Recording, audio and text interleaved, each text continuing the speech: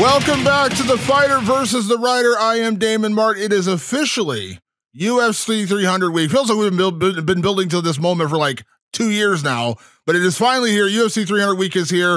Uh, of course, my regular co-host Matt Brown will be with us shortly. He's running a little bit late, but so for such a big event, such a monumental event, I could not just go with just me and Matt. I had to bring in a very special guest to help me talk about some of the biggest storylines, some of the biggest moments at UFC 300. She is one of the top commentators in the game, one of the top analysts in the game, and as Alan Jouban famously said on this podcast a couple weeks ago, he, she is the unicorn of the UFC because she does it all. it is my pleasure to welcome in Laura Sanko. Laura, how are you? Thank you so much, Damon. I appreciate it. I'm good. And uh, did did Matt like did Matt thrash out that intro song? Because that's awesome.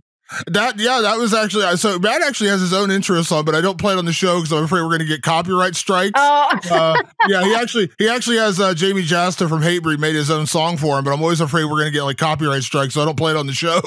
That's awesome. That's awesome. Well, thank you for having me. I mean, I can't think of a a, a bigger week. I mean, it is it's overwhelming already, but overwhelming in a good way. We're going to get through this, and it's going to be incredible.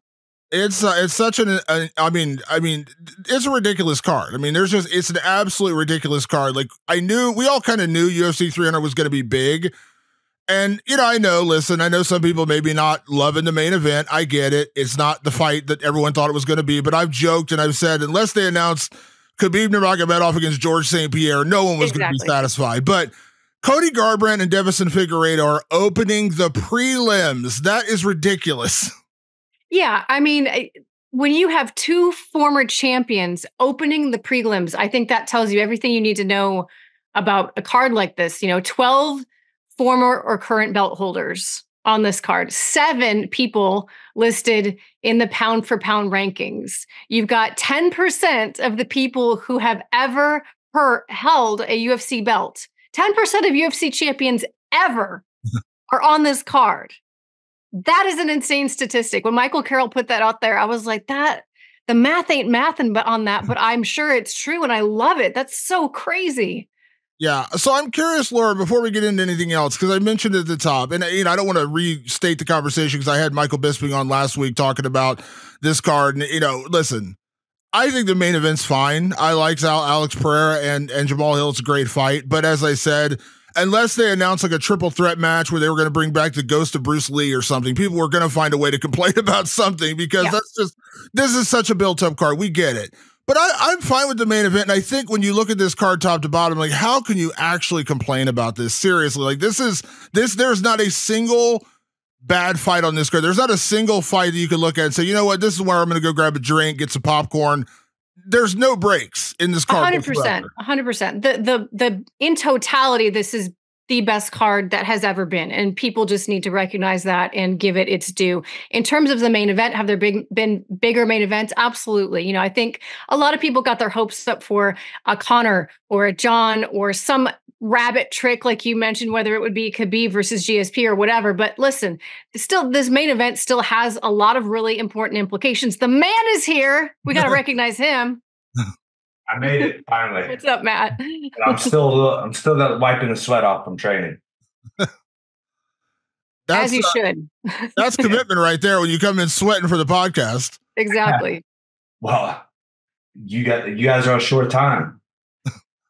We uh we just got into it, Matt. Obviously, we're talking. We just started things off. I know we've talked about a little bit about the main event, and you know how you know I think in a way there were almost unrealistic expectations for this main event. But I think ultimately, listen, you know, this is just this is a card that, as, as Laura said, in totality, it's so ridiculous. How could you complain about anything? Like they could literally make uh Justin Gaethje, Max Holloway the main event. They could make Charles Oliveira, Arman Tsarukyan the main event. Like there's like nine different main events on this card, and I don't think you could really complain.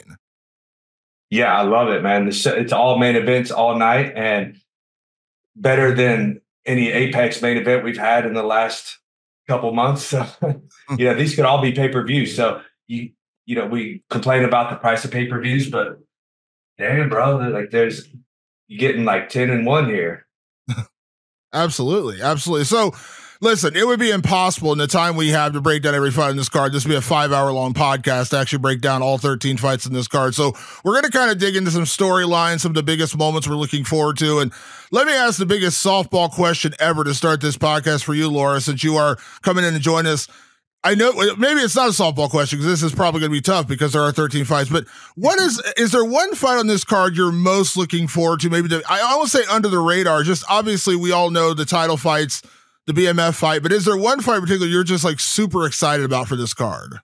There, there are. I mean, yeah, there, there, there are a lot of fights that I'm super excited about in this card. I actually think that the uh, Jiri Prochazka versus uh, Aleksandar Rakic mm-hmm. fight is really going under the radar. I've been a huge fan of Rakic in particular for a very long time. Um, and I'm excited to see him coming back finally from that injury. I think injects a, a whole new dimension into the light heavyweight division. But for me, uh, and it's not that it's going under the radar, but I think in a card this stacked, lots of things feel like maybe they're not getting the, the all the attention they're due. And it's just that's the story of Kayla Harrison coming to the UFC. And I cannot overstate um, how big of a fan I am of her in terms of not just her fighting, but her as a human being. She's just an awesome person.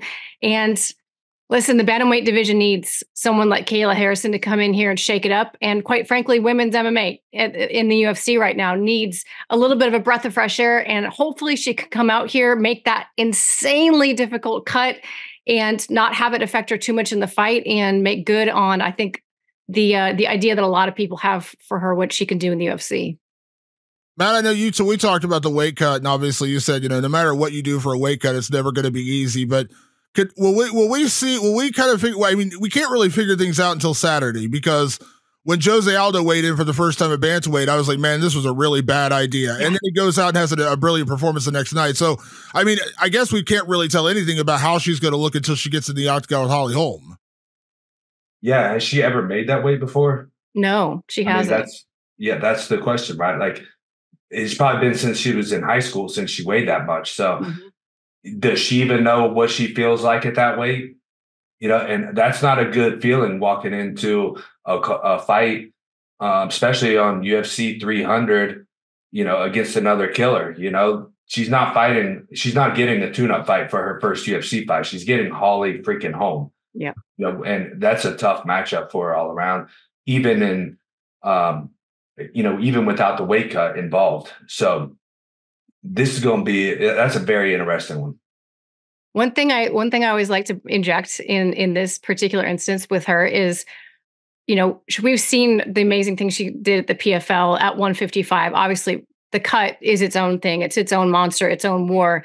What I'm excited to see, because I saw it one time when she popped over to Invicta, I called that fight and she had one fight at 145 in Invicta where she was allowed to use elbows. And Matt, you can appreciate this. Hmm. She can't use elbows in PFL. And I'm telling you what, what she did to that poor woman in Invicta when she was finally able to use elbows when she got on top, she looked like she took a hatchet to the face. I'm hmm. excited to see Kayla Harrison with elbows.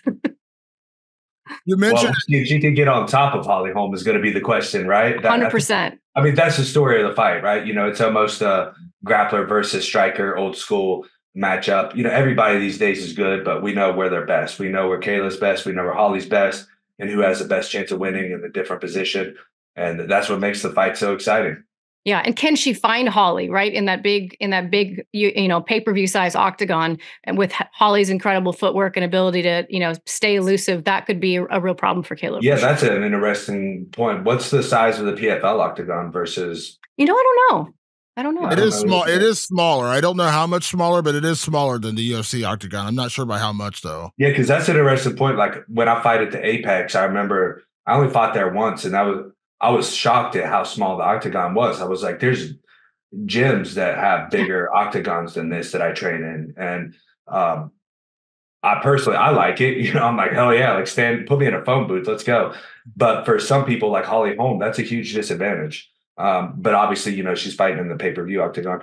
So yeah, that could be a huge advantage for her. That that's a unspoken little piece or not talked about a lot piece of this puzzle it's interesting because I, I said this to Holly. I talked to Holly right after the fight was made, and I asked her, you know, she didn't buy into my conspiracy theory, but I said it is interesting that it got Holly versus Kayla, and Holly is the one who sent Ronda in her first loss, judo background. I think, yeah. I think, I think uh, Ronda and Kayla are different fighters, of course, but I was just at Ronda's Q and A uh, last night here in Ohio. She was doing her book tour, and you mentioned this division. And listen, I like Raquel Pennington. I do. I think she's awesome. But I, I think Kayla brings a level of star power that this division is sorely missed. kind of since Ronda. And I, get, you know, obviously I don't want to disrespect Amanda Nunes. Amanda was a star in her own right, but Ronda was, you know, she's on another atmosphere, uh, another planet all to herself. But I feel like Kayla someone need. But listen, that's the thing with the UFC. You know, just like, you know, I know like MVP came in and got Kevin Holland day one, and I picked Kevin Holland to win that fight. There's no easy fights in the UFC. And Holly Holm is incredibly tough. She's hard to hold down, and you know she knocked out another bra- another medalist in judo. So they're not giving Kayla Harrison a fight that she's just guaranteed to win. Yeah. yeah, absolutely, absolutely. That's you know Matt, Matt said it best. I mean that this is this is a very tough test right out of the gate for her to be facing a former champion and someone who has the footwork. You know that could really give her that could really give her some problems. And I love that because that's what the UFC is supposed to be is lions against fucking lions. It's not supposed to be tune up fights. Uh, you know, that's boxing. You know, that's other organizations. Like when you're in the UFC, you know, and, and I've told Sean Shelby that from day one for me. I mean, I'm 43 years old and, you know, be like, yeah, we'll get someone that, that works for you or whatever. And I said, bro, I don't want someone that works for me. Put a fucking killer in there with me. If I can't hang with them, they knock me out you know but that's what the ufc is supposed to be in my opinion and that's what one thing i love about it it's what i love about this matchup they're not giving her a pushover they're not building her up to be a star they're saying if you want to be at the top you got to fight at the top right away and Laura, you've been around obviously championing women's MMA for many years. Of course, you're a fighter yourself. Sorry, Jamie Varner, you got that one wrong. Uh, you are you are incredible in your own right. I'm curious though, like, and, and again, I mean, absolutely, Holly's been around forever. Again, you could argue that you know, Holly may be the bigger known quantity coming into yeah. this because Kayla's still a bit of an unknown. Because as we've seen with all the fighters who came over, and I know PFL guys and other organizations are going to get mad when I say this, but the UFC is another level, and it, it is, is, another level of stardom. You know, Michael Venom Page talked about that. Michael Chandler's talked about that. Kayla's coming into this situation here, but it feels like this is kind of what this division needs. Now, again, there's no guarantee she's going to win, but – you know, Kayla goes out there, and if she can put away Holly Holm, I mean, this just injects a whole new life because I mentioned this on Saturday when Norma Dumont got a win over Germaine de Randamie. I said, yeah, you know, good win. Maybe it wasn't the most exciting fight in the world. Everyone said, well, you know, Juliana Pena is just going to kind of slide in the title fight. I said, Juliana Pena's been out for almost two years now. Like, if Kayla goes out there and wrecks Holly Holm, beats Holly Holm dominantly, finishes her, I love your point about the elbows. I agree 100%. I think Kayla can slide right in that title fight, and you got a star on your hands.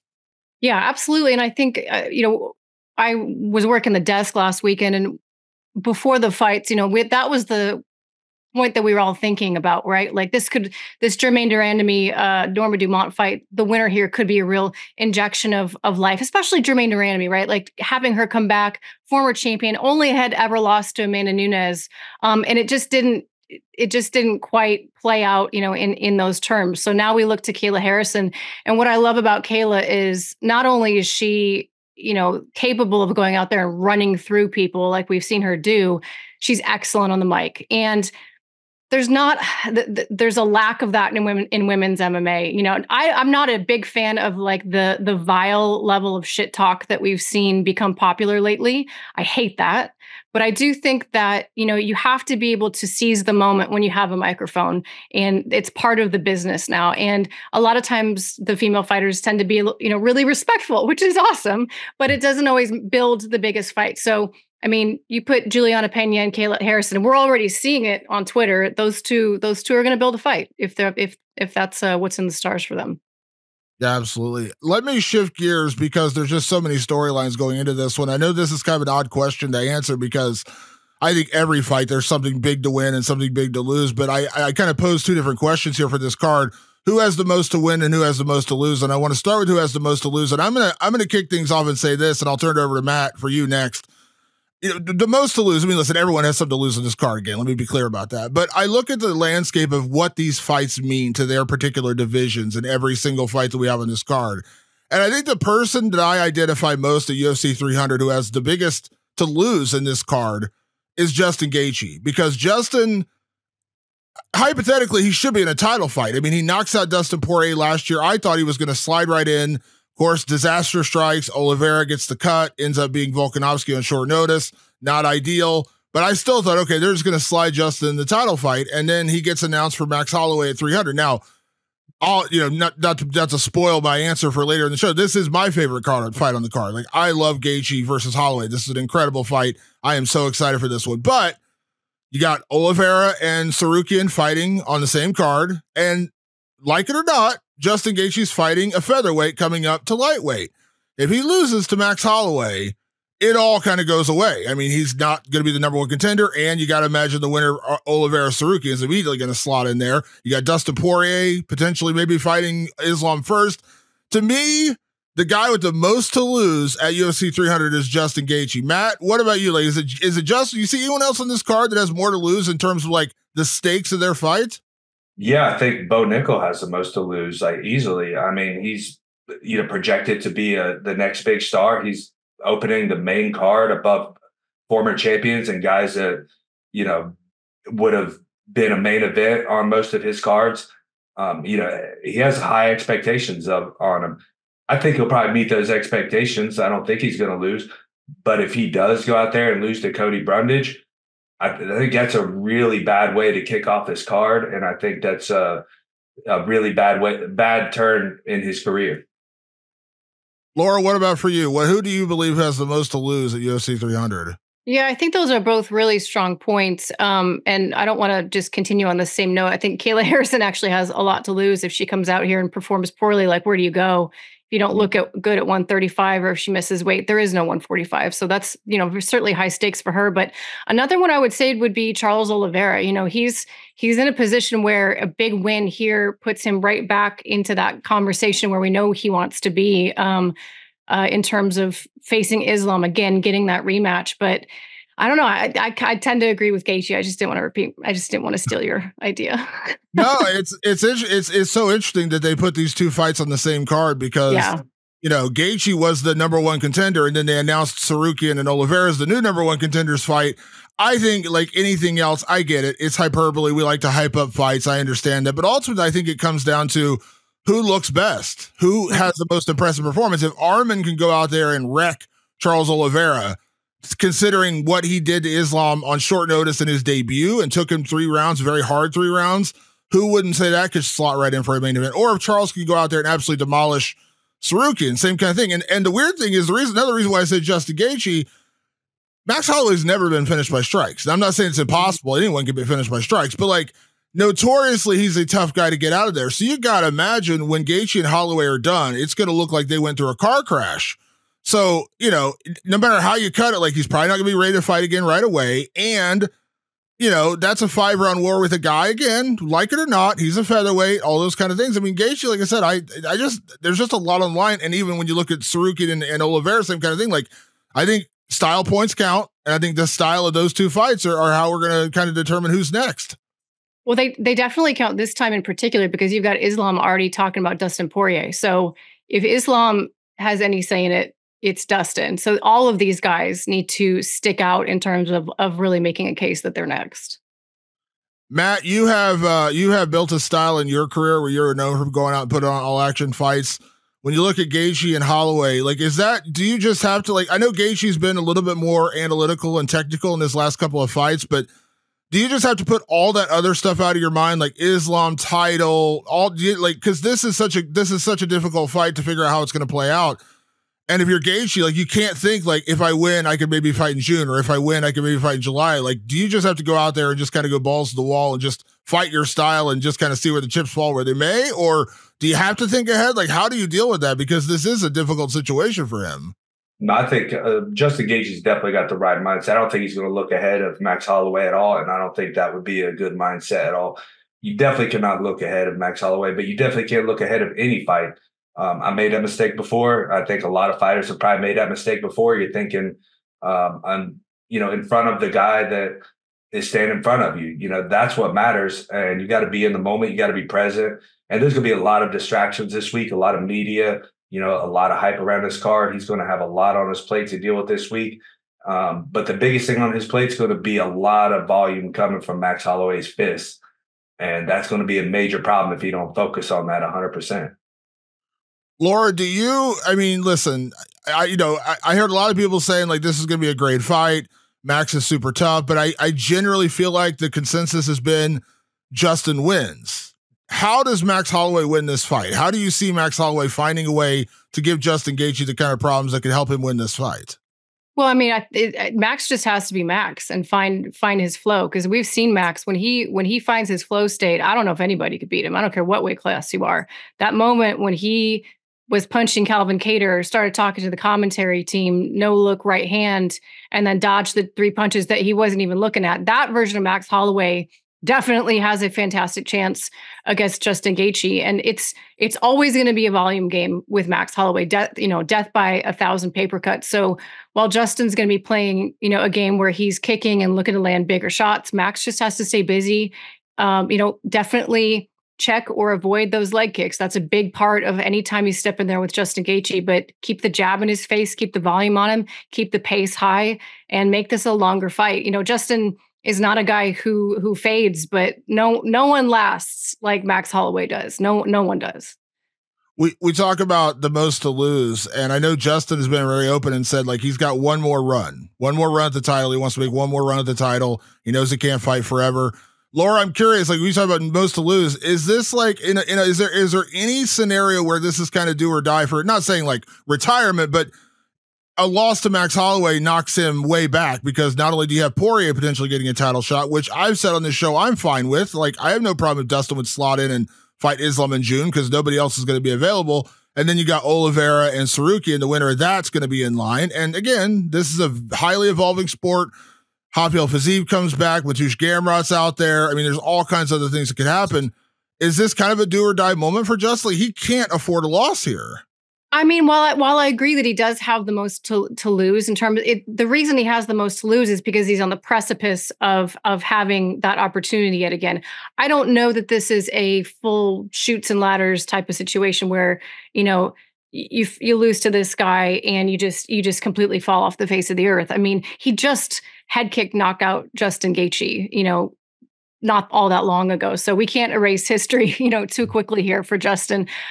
I don't know. I think I think with his fight style, he's the type of guy where even if and I, I favor him in this matchup, but even if he were to lose to Max, and even if he were, you know, to get then get a win and then another loss, he's just a guy that is going to always find a way to be relevant at the top of this division, in my opinion, until he's not. Like it, he's he's fought the who's who, and he's proven time and time again that he's still at that level. So even if he doesn't get another run at the title, I think he's going to stay at the top of this division, be entertaining, and be making money, and be a factor for a long time.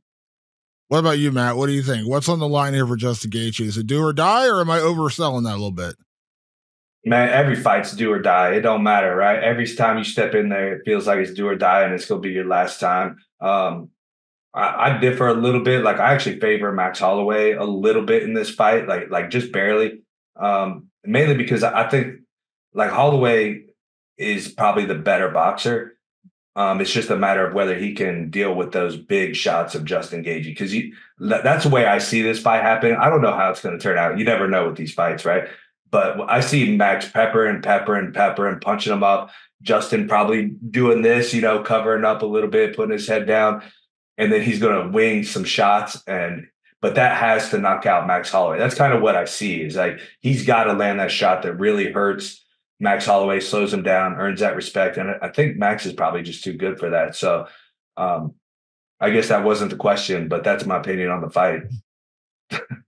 It, there's no wrong answer. There's no wrong answer. Now, I, I, mentioned who has the most to lose, and I know this is kind of weird reverse of that, which is who has the most to win, because everyone again has something to win here. But I mm-hmm. think you know, I look at some of the fights that are under the radar. I think you know, I think you're the answer probably is what Laura already said. I think Kayla Harrison has the most to win because obviously she wins here. She may slide right into a title fight and kind of live out her dream and becoming a UFC champion. But I'm going to go a little little further down the card and a kind of a weird off the cuff answer here in terms of who I think has the most to win here. And I, to me, it's the guy opening the card. It's Cody Garbrandt. Cody Garbrandt coming off his last win Cody Garbrandt, I know we all talk about this. I was there that night. When he beat Dominick Cruz, that might be one of the three greatest title fight performances of all time. The way he just absolutely styled on Dominick Cruz and did it so beautifully. It was a shocking, stunning, beautiful performance. Unfortunately, he got caught up in those TJ Dillashaw fights and then started questioning does he still have a chin? Had some tough losses, tried flyweight. That didn't work out for him kind of had some ups and downs. Comes back and has a couple of good wins in a row, and now we're kind of back on the Cody Garbrandt train a little bit. Deiveson Figueiredo, me and you, Matt, we both picked Rob Font. that did not work out well for us. Deiveson Figueiredo went out there beat Rob Font.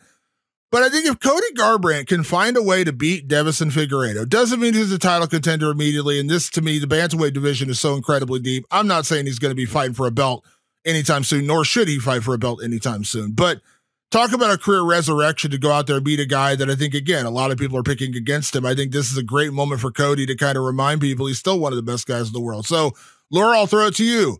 Who has the most to win uh, at UFC 300? And again, you could say Kayla because you're not wrong there because that is like, a, he, like no. he really does have that. I've talked about Kayla enough. Um, yeah, for me, it's actually Jamahal Hill, and I, I, I say that because partly, you know, uh, for whatever reason, the public is not uh, in the in the wind in his sails quite yet, and you know, facing a guy who has quickly become one of the biggest stars in the UFC in Alex Pereira. And I say that as someone who has witnessed like some of his fan meet and greets.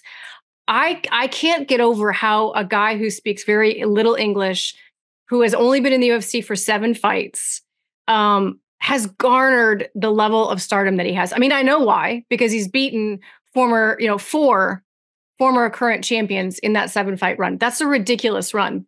So my point is that Jamahal Hill has an opportunity to knock off a, an all-time great here um, if he's able to do it, and I think win over a lot of fans in in the meantime. You know, coming off of a devastating injury, stepping up here and really being uh, I don't know the behind the scenes stuff, but it seems like Jamahal was the one who kind of made all this happen because they were getting desperate for a main event and Jamahal stepping up coming off of you know a long injury layoff the Achilles tear all that stuff it's a big spot for him to be taking on a lot a lot of pressure on Jamahal and if he can go out there have a good showing possibly put Alex Pereira away that would be a massive win for him, not only in terms of just getting the belt back that he never lost in the first place, but I think in terms of his own stardom and his own, you know, goodwill with with the fans.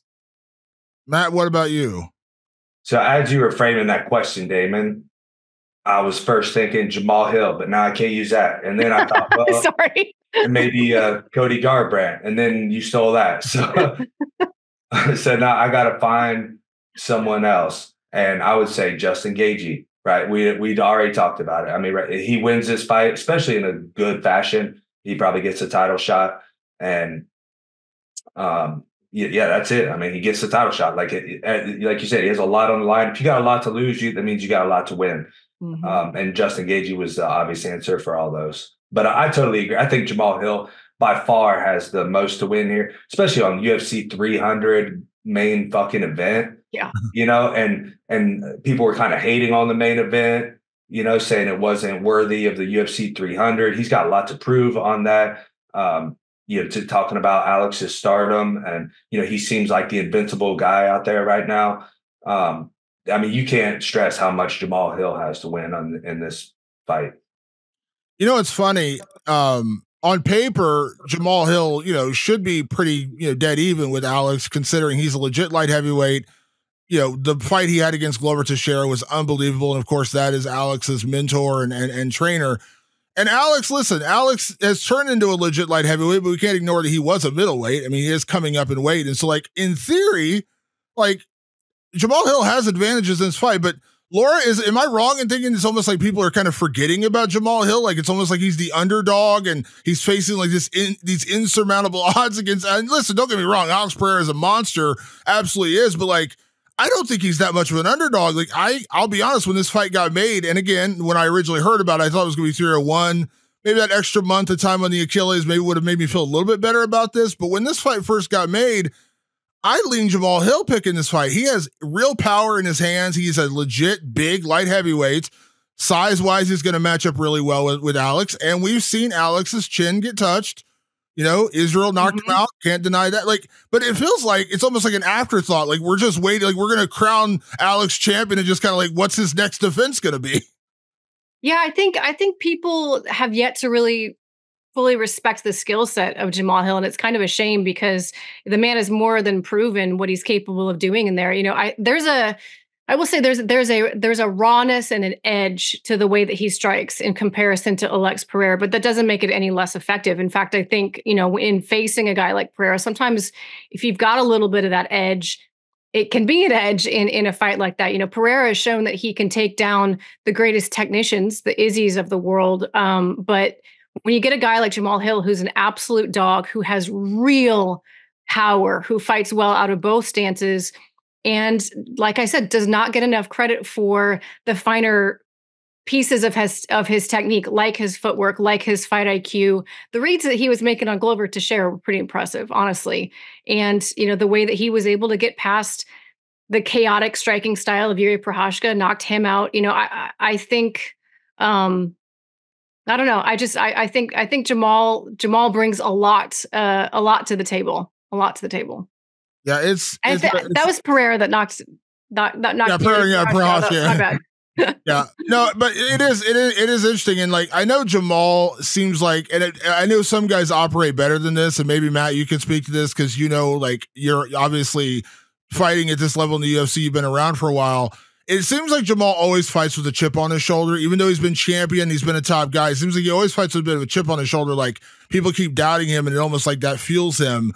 Uh, does is that can that help or hurt him in a fight like this, where he kind of has that almost like a something to prove in every time he fights? Yeah, you have to live and train like that. If you don't have that chip on your shoulder, you're probably, you know, you're on your way out, right? Um, but it, you know, to kind of add what Laura was saying there, you know, it's kind of interesting the way Jamahal Hill is. We don't see those finer intricacies of his.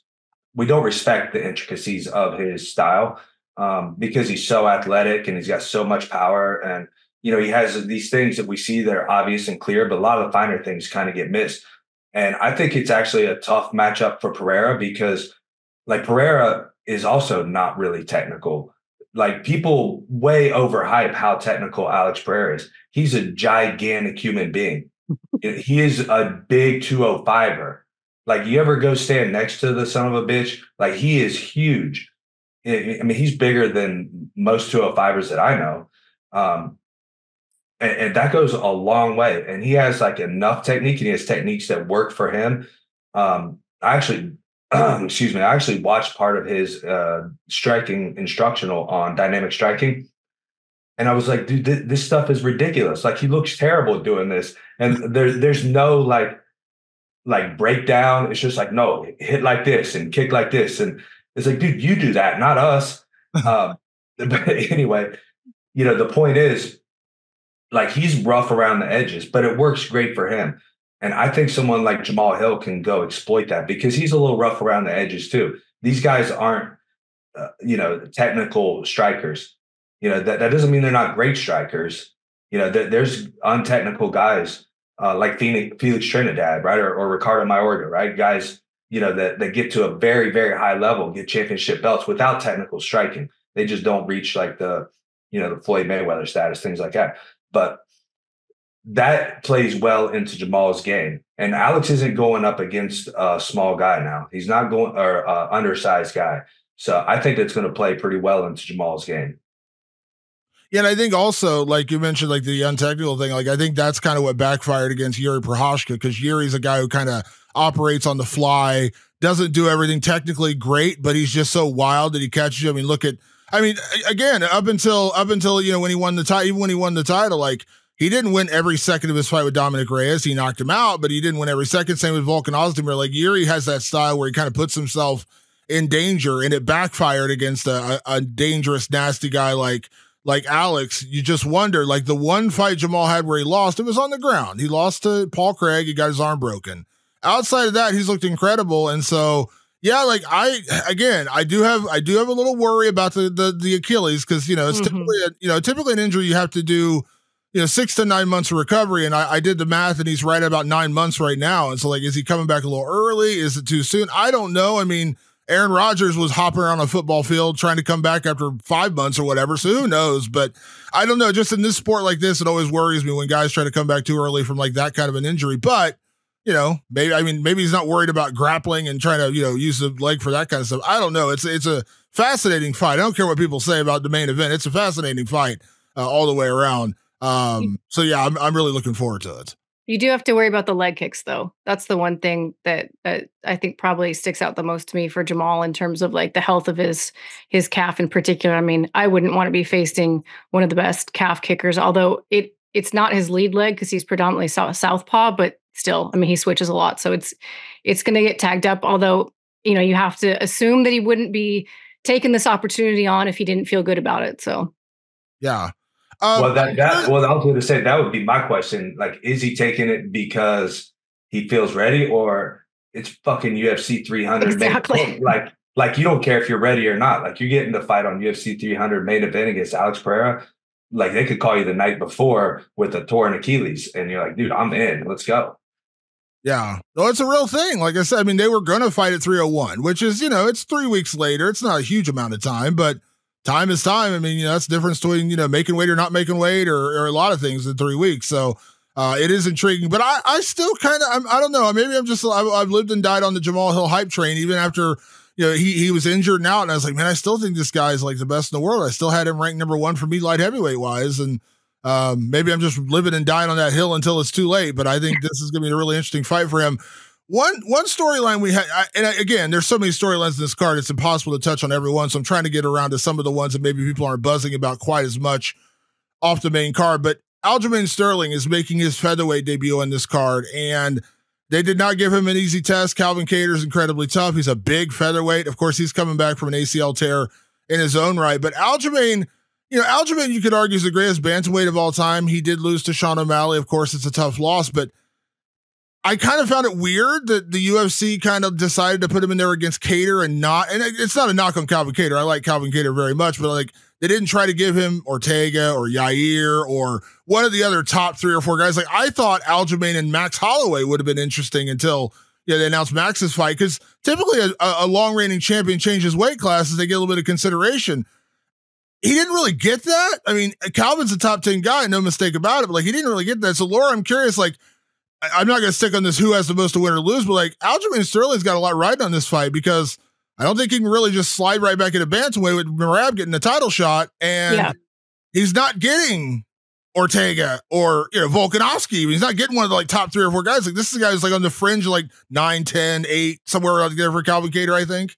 Yeah, yeah, for sure. And those other names you mentioned would be sort of like forgivable losses, right? You know, okay, so maybe he loses to Ortega, you know, by submission, you know, oh, of course, you know, that he got caught, whatever. But you know, this, like you say, this is the type of fight that's hard enough where he's really, really going to be pushed and challenged, um, and yet not glamorous enough in terms of, you know, this is not a a, a top three guy. So it's a st- it's a very tough spot to be in. Calvin Kattar's got phenomenal boxing, phenomenal pace. Um, I I think we're going to see Aljo really look to you know use the grappling, get the backpack going. Um, I'm excited to see him at 145 though. I I'm trying to remember when it was, but I did a I did like a fan Q and A with him, and I've seen him in person many times, but it was like the first time I had seen him in person when he was in that mount mentality of like I'm going to 45. He's a big dude. He's a big big dude. He's one of those guys like when I see Michael Chiesa like, I don't know how you ever made 140, 155. Like, you're 6'2 and you're not skinny. I think that about Aljo. Like, I don't know how you ever made bantamweight so consistently. I think he's going to find a, a, really good home here at 145. Matt, you you obviously come from the striking background. That's kind of Calvin Kattar's background. But we saw when Aljamain fought, who I think is one of the best strikers in the world of bantamweight, Cory Sandhagen, took him down, choked him out in three minutes or whatever what is the like what's the key of i mean I, I, guess we would say the key is don't get taken down but i mean calvin kattar is a a big physically strong featherweight. Like they did not give even though they didn't give him one of the top three guys in the world they did give him a pretty tough matchup here. Yeah the key for calvin i think is to be patient because aljamain has very awkward striking. Um it, it, you know it seems to be like okay but it's very awkward and he makes mistakes on the feet. So if calvin tries to push a pace or tries to reach for something that isn't there and exposes himself to a potential takedown, obviously that's going to be a tough night for him. You know how hard it is to get up against Aljamain, how much of a backpack he is, and you know it could potentially turn into a very boring fight, which is unfortunate for this card because I think every fight has the potential to be exciting. Um, but it, it, if you're Aljamain Sterling, you want this to be a boring fight because Calvin's going to sit there and try to peck away at you for about uh, 15 minutes out of those 15 minutes. So you better be you know, really patient and allow things to happen and, and wait for Aljamain to make that mistake where he has to get a takedown, even if you're kind of being more defensive. And, um, you know, it's just a, it's going to be a patience game. You know, you, you can't get too excited with Aljamain. Yeah, I think Aljamain, I mean, I think Aljamain, you know, we saw the mistake he made against Sean Sean O'Malley. Again, no shame now. But I think a lot of people at the time were a little surprised because Aljamain had been so dominant at that point. You can't make that set mistake against Calvin Kattar either. Because again, when you go up in weight, guys hit harder. I mean, you know, Matt, I know you said like you could fight at middleweight, but you, you know, you're better suited for welterweight, but you could fight at middleweight. And I know you said, Laura, during your fighting career, like if, if UFC had had a 105 pound division, you would have fought in the UFC. But fighting one, like even for you fighting 115, like that wasn't your natural weight, but that's where you had to fight because that's the only fight you could get. Like that, you deal with different power, different strength. So again, mm-hmm. I agree. I think Aljamain's a very big guy, but again, he gets hit one time by featherweight. That is different power at featherweight. Yeah, it is. It's definitely you know, especially when you're talking about like percentage of body weight. I think that is one of the it's one of the bigger jumps you know that you make in terms of when, where guys uh, carry you know how guys carry their power. I should say. So yeah, Aljo's going to need to be very careful. And I think though that a lot of times fighters that we see have those really tough losses where it was an obvious lapse in judgment they're so much better after that because they shore up that hole so well. It's like sh- after Sean Strickland got knocked out by Pereira, you know, his defense got even more proficient because it's like, you know, fuck, I'm, or excuse me, I don't ever want that to happen again, right? So you go back, you double down your efforts in terms of that. So he's an even more dangerous guy, um, having suffered that loss to Sean. We do not. We do not bleep on this show, Laura. You can bleep. I didn't know. I, I, should have asked the rules before we started. I, it's Matt, I'm on. A, I do a podcast with Matt Brown. Do you really think we censor this show, Laura? Come I mean, on. I assume. I, I, I didn't want to be. I didn't. I didn't want to be the only one dropping the f bomb. Have I not dropped any f bombs yet? That's not yet. Impressive. Not yet. I'm I'm growing up a little bit. I think. um, can I, I want to shift back to Matt's answer from earlier because one thing we really haven't talked about is, is Bo Nickal. You know, I know mm-hmm. there were some complaints about him being on the main card. I don't think it's a problem. I think it's perfectly fine. I, you know, Bo Nickal's a star on the rise, and when you do a card of this size, I think you'd almost do a disservice by having Bo on the prelims or on the early prelims. You put him on the main card because you want people to watch Bo Nickal. People who maybe don't know Bo Nickal, although it seems like he's becoming a pretty big star. And let's be honest, he's a massive favorite. I don't know the odds, but I have to imagine they're like astronomically in his favor. And I talked to Cody Brundage last week, and Cody said, I know the narrative. Like, I understand. Like, they, they're setting this up. He's like, I don't even know if the UFC thinks this is going to be a competitive fight.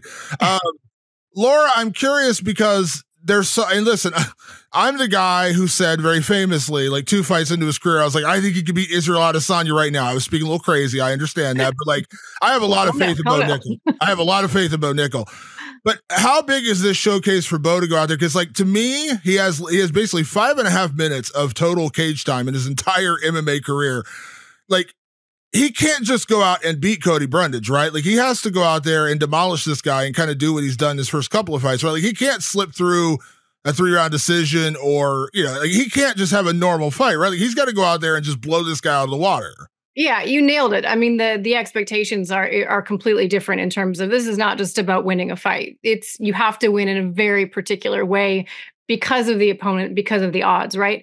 And anybody who's watched Cody Brundage fight knows that this is this is the odds on this are kind of ridiculous. Frankly, they shouldn't these odds shouldn't exist in MMA period because of the nature of the sport. I mean, it's literally uh, you know, a fought, a sport that's fought on a razor's edge. Anyone can get knocked out at any time by about anyone, and we all know that. So the odds are kind of crazy, but you know, this is in fact a fight where Uh, Bo has to go out and he and he has to deliver it because he's he has a different you know he's got a different lens. He's got a different microscope on him in terms of everything he does. Like you know we're gonna dissect i'm trying to remember what it was. I think he was trying to set up a D'Arce and it was or it had an arm. I couldn't remember what it was but there were there were things that people felt like he wasn't doing properly or quickly enough or you know literally down to the you know the minutia of oh is he checking the list in terms of how he sets up his submissions? You know they they dissect everything he does because he has had the marketing machine at his back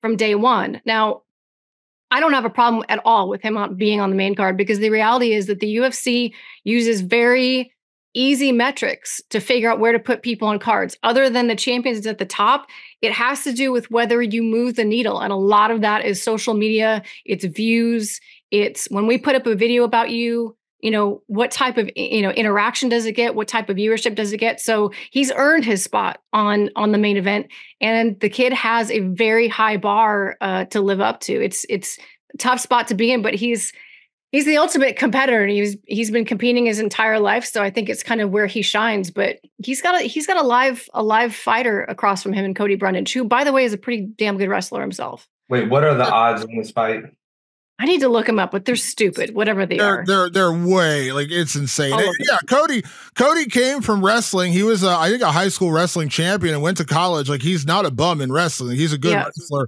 And what listen, what Cody told me is true because I asked him about this and he said the reason why I think they made this fight is because I'm so wildly inconsistent. On my best night, yeah. I look great. On my worst night, I look terrible. And I was like, I appreciate that level of honesty. He's like, I understand that. He's like, on my best, on my worst nights, I've had really bad losses. So Matt, you, you, you, well, you said like Laura, you oh. said like this is what's the what's the odds? this is so crazy. He's currently currently he is listed as the minus two. Sorry, I can't even read this number properly in terms of odds. minus two thousand four hundred ninety nine. Nice, nice. Favorite over Brundage, who is the plus one thousand one twenty eight underdog. Like, now, normally, normally I would say like it's MMA. I'm putting some money on that shit because you know, you're gonna two thousand times plus your money, however that works, right? Hundred percent. But I also I train with a guy named Colin Moore who wrestled Bo Nickal twice and lost to Bo Nickal twice. We all know how technical and good that uh, Bo Nickal is, but Colin is equally technical and good. And I said, you know, and I talked to him one day and I said, man, you know, what happened? Like, why, you know, why did Bo beat you when Bo first started getting in May? because I've been trying to convince Colin to get in May forever, but he's just not going to. And uh, I said, bro, get your your revenge on him. Like I'll teach you how to elbow him, you know, and you can you can beat Bo Nickel, right? But he's not going anyway. And he said that he outmuscled him. And Colin is one of the strongest guys I've ever met. Um, he's well known in the Ohio State room as being one of the stronger guys. When we go lift weights, I mean, half of the workout is taking the plates off so that I can do my stuff. So, I mean, this guy is an absolute brute machine. And Bo Nickal doesn't look like a strong guy. I was so surprised when he said that because Bo Nickal isn't built like, you know, a machine, like a strong looking, like we know the strong wrestlers like the Ferraris and, you know, the guys like that who, you know, they look strong. Bo doesn't look that way. Uh, but he has all the technical skills. I think he's going to destroy Cody Brundage, and I think those are proper odds, is what I'm getting at.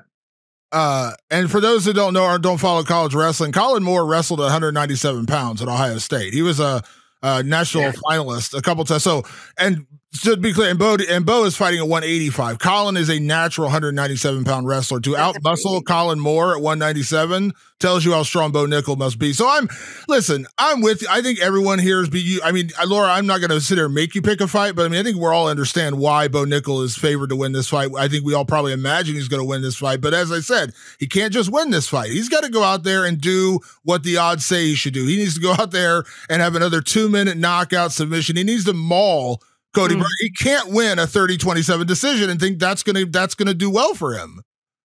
Yeah, yeah. Like I said, the expectations are very high. He's got to go out there, he's got to do it, and he's got to do it impressively. And I think that, you know, what we're all excited about is the next the next step up for Bo. Like when he gets when he gets a guy that as soon as we read the name, we go, ooh, that's gonna be a tough one, right? Like that's I think that's what the audience is looking forward to, and maybe why a few people were like, why is this on the main card? It's, you know, it, it does have to do with the odds and the matchup, but um, I don't know. He's got a bright future, that's for sure. I remember seeing him on the contender series and I was like, oh shit.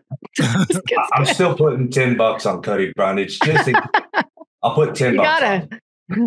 I, I, said you weren't here, Matt. We opened the interview, and I said uh, I, I gave Laura her intro, and I said Alan Jouban called her the unicorn. You really are. You did the contender series, you do the interviews over there, you do commentary now. Good lord, like slow down. Some of us need jobs, Laura. Come on. I'm just trying to stay busy. At some point, I'm. At some point, it's too much, though. um. All right. Before we get out of here, listen to be honest, again, there's no fight that's really truly slipping under the radar because every single fight on this card matters, ranked former champions. Weirdly, I think you could argue that Yan Xiaonan and Zhang Weili is like the most underrated fight on this card. And it's a freaking yep. co-main event because no one's really buzzing about it. But Laura, I'll throw it to you first. What is the one fight at UFC 300 that maybe you're excited about that that isn't one of these main marquee fights? And again, I think we've talked about a lot in this card, but there's always again, even on a card like this, like even like Jessica Andrade, Marina Rodriguez, we're not really talking about great fight. We're not really yeah. talking about it. So, is there one fight on this card that, like you're excited about that maybe people aren't like? It's not one of the big headline fights. Yeah, I mean Diego Lopes versus Sodiq Yusuff is going to be sick. It's going to be so good. I mean Diego Lopes, both of those guys are nonstop action. Diego Lopes's uh, jiu-jitsu is insane. Sodiq Yusuff um, can knock about anybody out. That's a really, really fun matchup. Um, I hope I'm not overstepping uh, in saying this, but one of my biggest disappointments in UFC 300 is that we did not get Jim Miller versus Matt Brown. I said the same thing. and I don't know why it didn't happen. And you don't have to say why, but I just, I really wish that that would have happened. And I just wanted to tip my cap because that would have been fucking awesome. Well, Laura, we, you are closer to Dana than me. So give him a call and be like, what the fuck? I'll still go. I'll still go out there and fight this weekend. Stay ready. Stay ready. I'm ready. I'll, I'll, I'll jump on a flight right now. I matched I matched made the hell out of that fight because I had Jim on before and he mentioned Matt. Obviously, I do a podcast with Matt, so I was like matchmaking the hell out of that match. And then he called it him. It was out. like it was written right in stars. Like it was the most obvious. I yeah, don't get me started. I I was I just I got excited because I just assumed because it was so obvious that it was going to happen. But we don't. I was. We don't have to land actually, on it. I was actually training for that fight. Were I thought, really? I thought it was that set. I, I was actually you know, I was watching video of Jim Miller, like, okay, you know, I started working with Southpaws. Like I was ready. But yeah, you know, I'm not the the king of this hill. So mm. And it's funny too because when I talked to Jim after the match got made, uh, this is the fourth time he's been matched with Bobby Green, and Bobby has really? dropped out of three other fights. The all the way back to like 2014. They've been huh. matched like three different times. And he said for the first time in his career, when they called him, Jim asked, I, I can't remember if it was Sean Shelby or Mick Maynard. It was Dana was also on the line. They said Bobby Green 300. And he goes, Really? Really? Because yeah. he got paranoid because Bobby's dropped out of three fights with him in the past. I was like, yeah, Matt Brown. Matt Brown's going to drag there with one leg if he needs to to fight. Right. so yeah, that's my that's my biggest disappointment. Not that I, want to end on a negative note. We can talk about something else, but I had well, to just, I had to get in there. In well, the positive note is that you didn't steal my fight that I was going to say going under the radar. I don't know why no one's really mentioned it much, but this Jalen Turner Renato Moicano fight, Kano, however you, how you say this motherfucker's name, there you go. Um, that is a fucking war. I'm telling you right now, like all these fights are good, probably going to be wars, right? There's a lot of them that are going to be knockdown bloodbaths, and that's what we all like to see. But that one, I I, I got a feeling that's going to be just just a bloodbath, you know. I mean, goddamn, that one just gets my dick hard. yeah, I told you you're allowed to, I told you you're allowed to curse on here. it, uh, that's such a wild fight too, because I mean what Jalen did to Bobby Green, like that was one of the scariest knockouts I've seen in like outside of maybe Josh Emmett and Bryce Mitchell. That was one of the scariest knockouts in recent history. And who doesn't love Money Moicano? Who doesn't love that guy? Like, yes, we all love him, but like, come on now. Who doesn't just wait for his post fight interviews now? A hundred percent. That guy, give that man a microphone more. I mean, the, now that he's finally learned how to speak English, it's like, holy cow, what have we been missing this entire time? This kid's crazy. Yeah, because we know the, the translator was saying some bullshit every time, right? Well, kind was saying something awesome, and the translator is like, "Oh yeah, he said thank Jesus and yeah, and we you know thank Brazil and whatever." it's uh so for me, I'm gonna throw it out there because I listen just because I got to give the guys flowers. Jim Miller, I mean UFC 100, UFC 200, UFC 300. I'm a little biased because I've known Jim since literally the day he got in the UFC what a dude, what a great guy. Like he is he is the epitome of what this sport represents. Like he's like the nicest guy in the world, savage in the savage in the cage. 40 years old, look better than ever in his last like he's like 5 and 1 in his last 6, which is ridiculous. Bobby Green's no joke, but man, like I like Bobby Green. Let me be clear about that. I, I've known Bobby for a while, interviewed him a bunch of times, but like is there a better feel good story that we're all kind of quietly rooting for than Jim Miller to get a win at 300? Like he's got to cap off the three cards. Like he's the only one to do it, but he's also the only one to win on all three. So that's a great yeah, Yeah, I think I think we all are uh, are are hoping that Jim has a has a good night. I love Bobby Green, but you you got to pull for for Jim in the spot for sure. Yeah, but I'm with you, Laura. I'm biased. I wanted Jim Miller versus Matt Bronson, and I told both of them. I said it breaks my heart because I love Jim. I do a podcast with Matt, one of my closest friends, and I'm like, it's gonna break my heart that you're gonna fight each other, but I want to see it. And then they they messed it up. I was like, come on, guys! Like we just gave it. We literally handed you the fight. I kind of thought that was what was beautiful about it, because I like Jim Miller too. I literally yeah. met him um, like a I don't know a month or two before that we started talking about fighting each other, and like he's cool as shit.